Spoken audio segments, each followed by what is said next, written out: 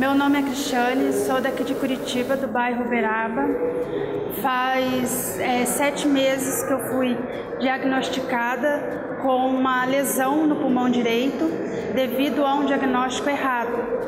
E é, foi uma série de, de muitos cuidados que eu tive até chegar na, na cirurgia.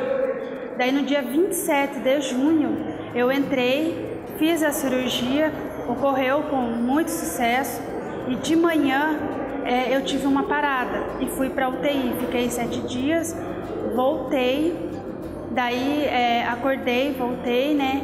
Aí ele pegou e começamos a tirar os aparelhos, só que daí eu tive uma embolia.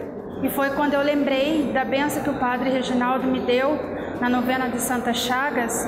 É, ele falou: vai e tenha certeza que nada vai acontecer.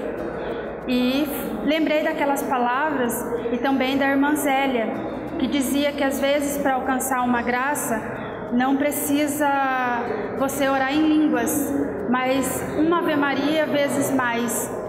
E daí, enquanto o médico estava fazendo, eu peguei e comecei a rezar uma Ave Maria vezes mais. E o médico sentiu que eu estava sorrindo e a cirurgia correu muito bem, e através das Santas Chagas e de Nossa Senhora, o meu pulmão hoje está curado.